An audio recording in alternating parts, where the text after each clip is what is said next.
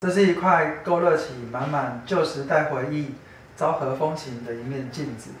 哦，在我们台湾本土来说，啊，以前入错啦、新居落成，还是新店开幕，啊，彼此的贺礼，很多都是，甚至连结婚都会有一块镜子，然后写上一段祝福的吉祥话。那这是呃清酒名古酿，啊，他们有时代意义见证的呃一面。很有收藏价值的一面古镜。